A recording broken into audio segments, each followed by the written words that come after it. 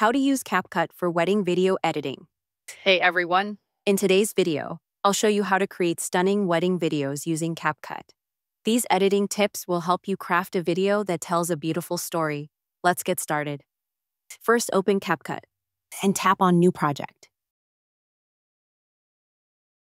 Import all your wedding clips, including ceremony highlights, reception moments, and candid shots.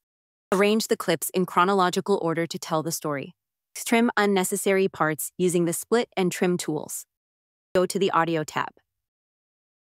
And choose a romantic track from CapCut's library. Sync the music with the key moments in your video for added emotional impact. On the menu bar, tap on Filters and choose soft, warm tones for a romantic vibe. Adjust brightness, contrast, and saturation in the Adjust menu to make the colors pop. Apply transitions, like fade, dissolve, or zoom between key scenes. Adjust the duration of transitions for a seamless flow. Highlight emotional moments like the first dance or exchanging vows with slow motion effects. Use the speed tool to adjust the clip speed. Add subtle effects like glitter or lens flare to enhance magical moments. Keep the effects minimal to maintain a classy look. Create an ending slide with a thank you for watching message or a special quote. Use animations to make the text more engaging. Make any final adjustments to timing, transitions, or effects.